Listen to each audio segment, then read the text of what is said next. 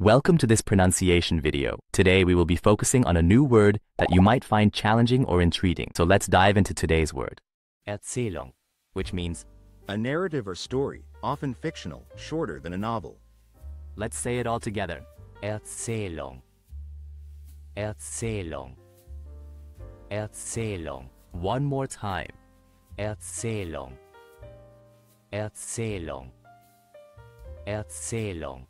Thank you for joining us on this adventure in pronunciation. Remember, language is a journey, not a destination. Keep exploring, experimenting, and expanding your linguistic horizons. We'll see you next time.